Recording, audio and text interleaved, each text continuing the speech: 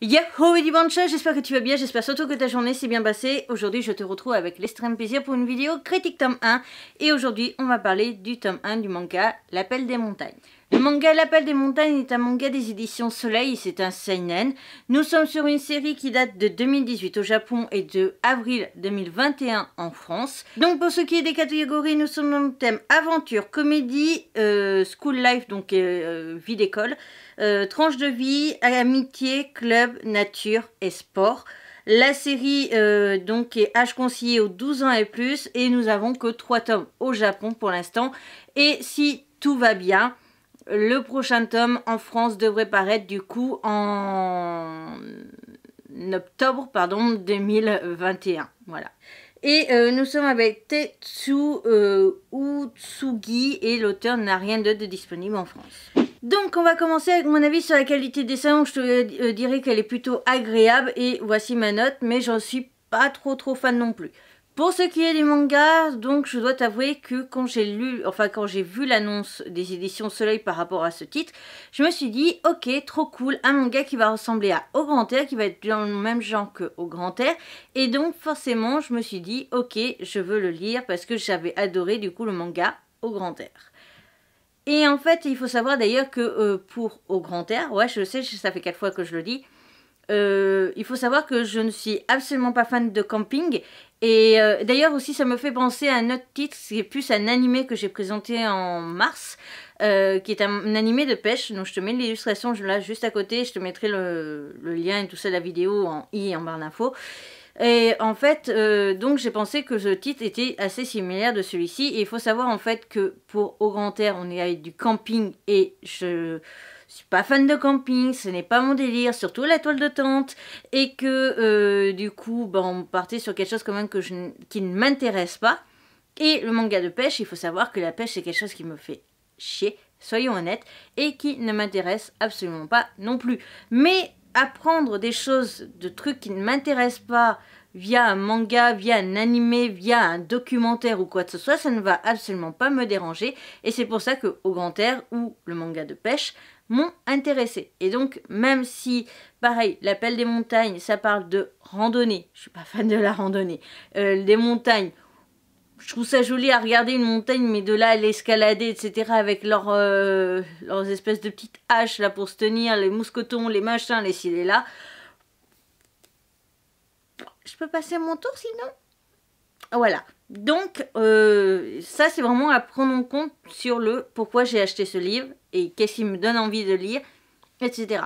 Mais je me suis dit, après tout, comme dans les deux autres titres que je viens de te citer depuis tout à l'heure, on apprenait quand même beaucoup de choses. Je me suis dit, ok, de toute façon, ça va être exactement le même principe. On va apprendre beaucoup de choses du coup sur le, soit la randonnée, soit escalader des montagnes.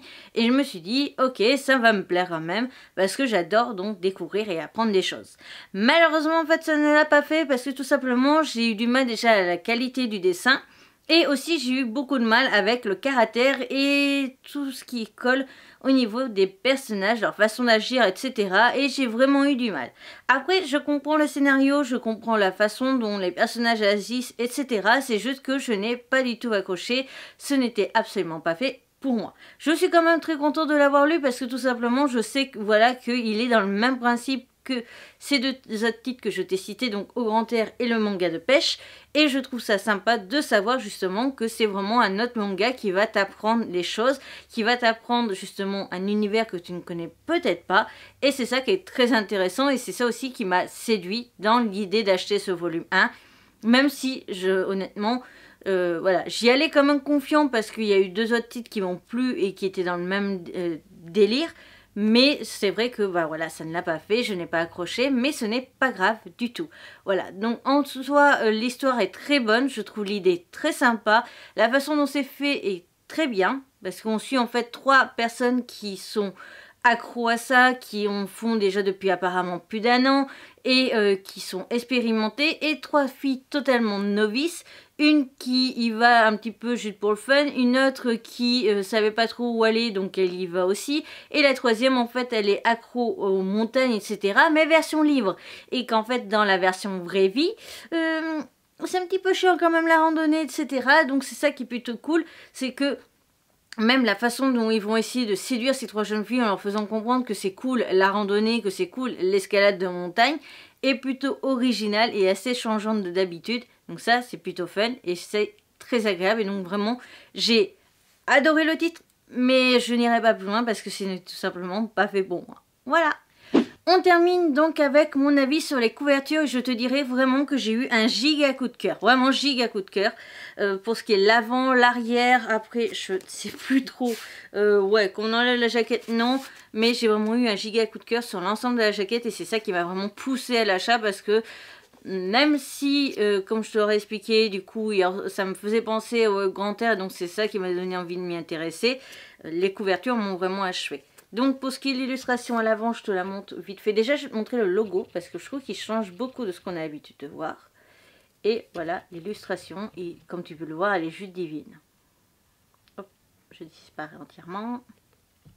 Pour ce qui est de l'arrière, voilà, quelque chose de simple et efficace.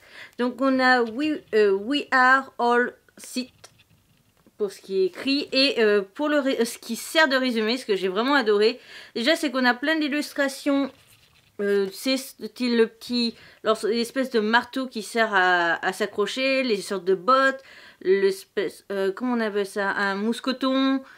Euh, après il y a des trucs que je reconnais pas, mais bon, voilà, ça ici, la petite ligne.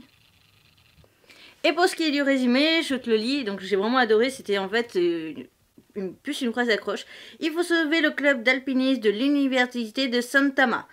Alors, inscrivez-vous et venez découvrir les plus beaux spots de, de montagne du Japon. Voilà, donc ça, je trouvais ça trop mignon. Ensuite, quand on enlève la jaquette, on a euh, un côté de jaquette avec trois illustrations. On les comprend qu'on a lu le manga. Et à l'arrière, on a la pub pour le manga dans le sens du vent, qui était peut-être un manga du même auteur? Je sais pas. Non, pas du tout. Donc aucun rapport. Ensuite, là, euh, c'est une illustration qu'on retrouve dans le manga. Et à l'arrière, on n'a rien de très spécial. Voilà. Qu'on ouvre, on a le logo. Et on a directement comme ça. Et ça, j'ai vraiment apprécié qu'on ait juste la montagne. Je trouvais ça plutôt sympa. Et après, on a une très belle illustration. Mais je pense tout simplement que c'est une photo en noir et blanc. Et on attaque directement le manga. Mais je trouve que la photo a sa place. Voilà, ça c'est plutôt sympa. Je vais essayer de voir si je retrouve les pages de chapitre, mais...